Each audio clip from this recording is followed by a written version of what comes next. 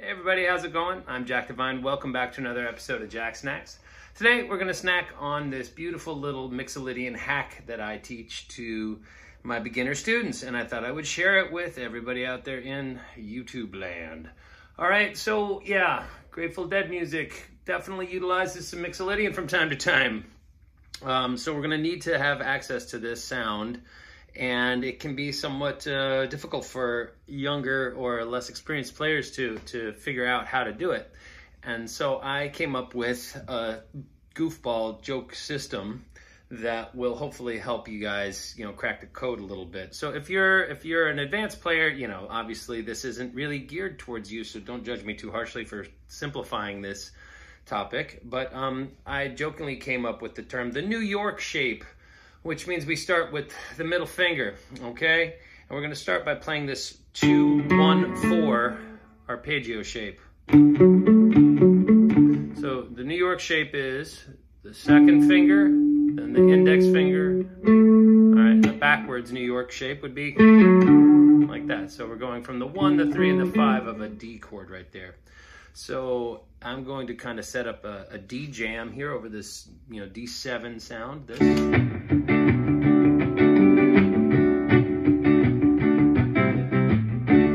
Kind of like a one chord D7 vamp. Okay, so you could do that for yourself. Uh, I'm kind of choosing something similar to the connective tissue between uh, China Cat Sunflower and I Know Your Rider, that kind of uh, middle, middle jam there. And what we're going to do is we're going to take a look at these notes, the one, three, and five of our D chord. And what we're going to do is we're going to say D, F sharp, and A also appear here and here again. Okay, we also have it here. Now the New York shape, quote unquote, is not a real concept, everybody. This is just a way to remember this shape. All right, it's just a euphemism, a goofball euphemism that I've uh, concocted to you know, get stuck in everybody's brain because everybody occasionally makes fun of New Yorkers for being rude and overutilizing the one finger wave. But what this does do is it plants firmly in our brain the notion of playing these one, three, five structures. And we're going to focus on this, you know, 10th fret all the way up to the 15th fret, um, or I guess 14th fret. Okay, and we're going to utilize that as our structure. Okay, and we're going to start to hang other one, uh, other New York shapes within that. Okay, so first things first, let's target our D's. D with the middle finger, D with the middle finger, D with the middle finger. Get that?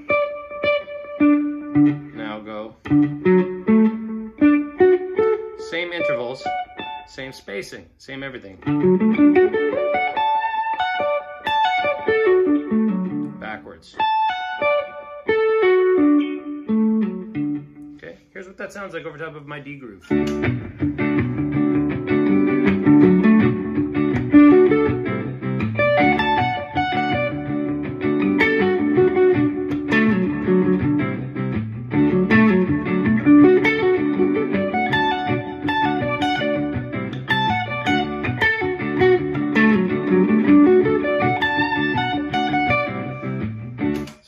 Attain some measure of fluidity, you know, coming up and down this little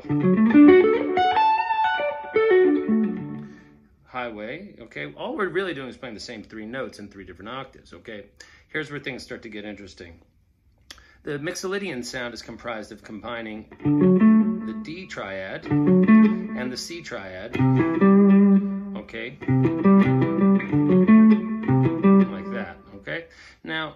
To go like this so much.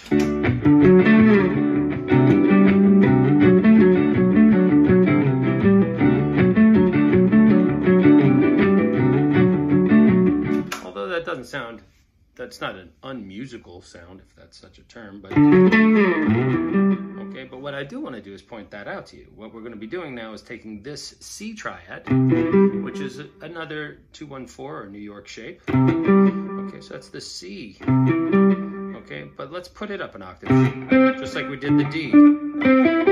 And now, all within the same uh, four, nut, four fret range, we actually have access to both triads that we're interested in exploiting, right? The sound of the D triad, and immediately below it on the D string is the octave of the C triad. And now this starts to sound like this.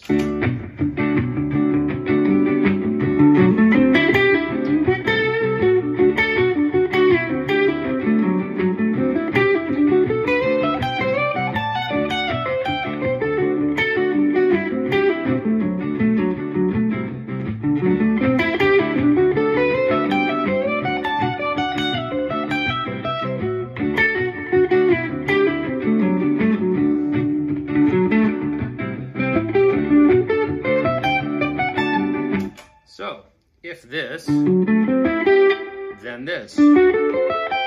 All we're doing is playing a D, 2-1-4 shape or New York shape, and then we're going to come up and grab the C. Okay, and occasionally what I'll do is I'll do this. And that note, the B, is part of our Mixolydian scale, it so turns out. So it sounds very nice and inside. Although we can do chromatic approach tones from outside of the scale. Non-diatonic approach tones are just fine too, depending on how you incorporate them. So now we have a D going backwards New York shape, into a C backwards New York, right? So now we can mix them.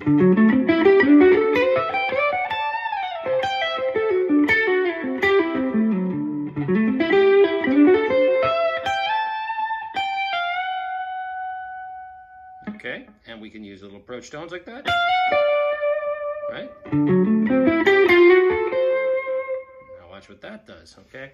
Well, now we're gonna take a look at one of the one of the inconsistencies of the, of the guitar, okay, is that the tuning breaks the breaks character right here at the G string. The interval between the G and the B is different than from the D and the G, right? We we tune like this. Whoop, back fret. Well, so we're gonna have to deal with some tuning anomalies between the G and the B, and how uh, the New York shape appears on the G string is different. It's rather than being on the root and going two one four, right, which would sound like this. All right, which isn't what we're after in terms of a Mixolydian tonality. Okay, it's more of a diminished sound.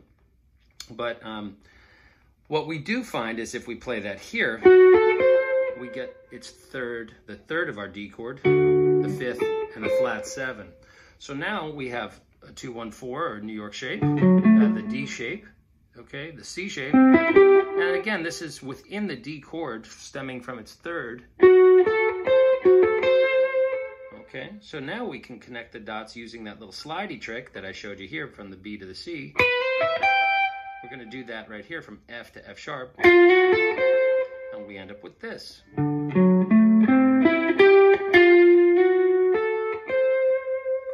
That's D, New York, C, New York, slide in on the G string, and that's the D's third, fifth, and seventh shape. And that's gonna sound very, very pleasing over top of our D groove. Here we go.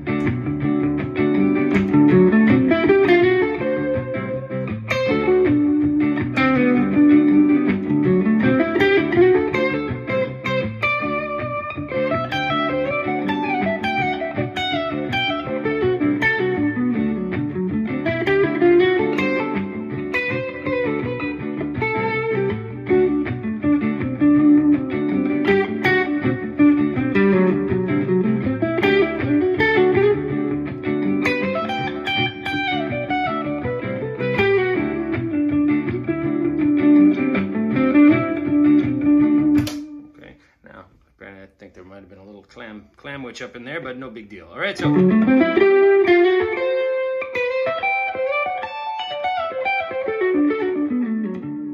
right, so the way we can connect these uh, ideas is often through this little one fret slide or two fret slide.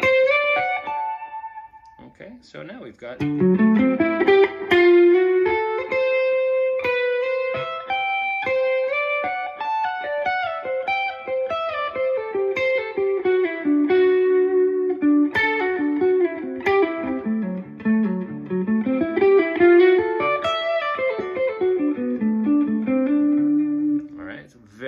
All right, it's very, very building from here. Now watch what we can do. There's our little our little slide up, but what did we do? We did a little enclosure. Okay, so now we would go two, one, four, two, one, four, approach. That sounds pretty classy.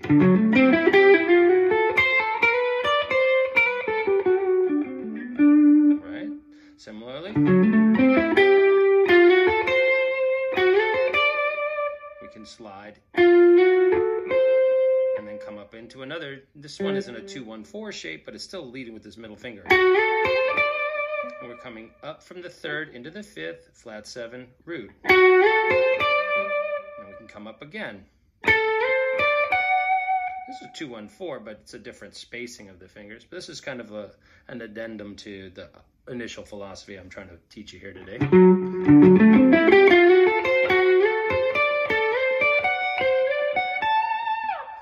Can access other, you know, arpeggio shapes as we ascend, and we can lead off of that index finger, I mean the middle finger rather, again, New York style.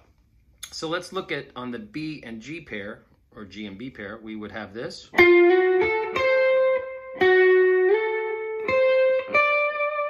So that's slide from the three to the five on the G string, flat seven to root on the B string, pivot back to the G string at the A note at the 14th fret and slide up to the C note. Okay, that's the flat seven of our D sound. And then jump to the root and the third. So now we've got flat seven, right? So that's a, and then we can slide up just two frets. And because I don't have a 22nd fret, I can't fret that, but it would sound like this. If I had that there, I could fret that pinky, but I, instead I have to throw it up under the high uh, E string. Okay, so that's just on the G and B pair.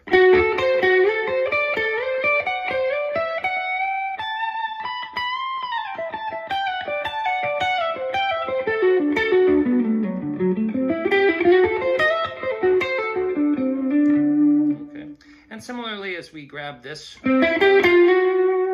we can now take that 2-1-4 shape, the New York shape, and grab the 9 here. That sounds pretty slick too. Right, so here we go.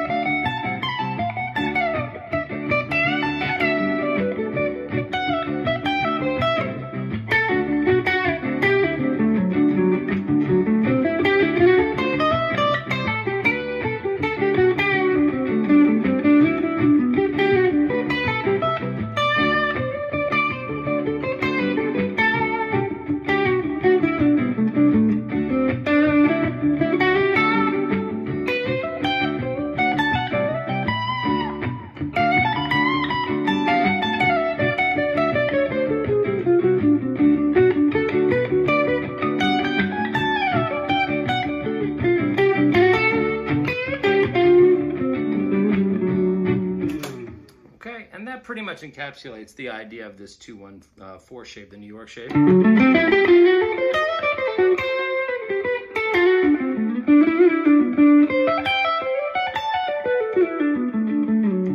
Right, that's a basic idea in the hands of somebody that knows what to do with it, right? Now, at first you're going to be kind of lumpy with it, but not a big deal. Okay, similarly, we can start it back here, right? And bring it up if we want.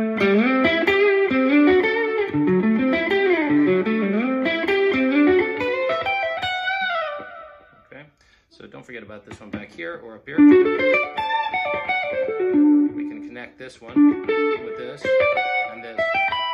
And we end up with a nice stacked arpeggio, okay?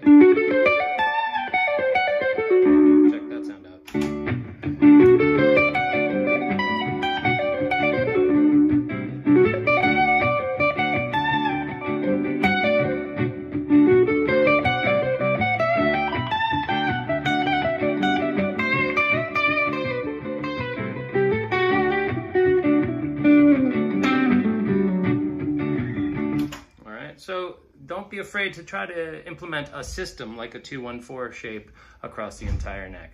That's it for today, folks. Thanks again for tuning in to Jacksnax. I really do appreciate you stopping by. Take care.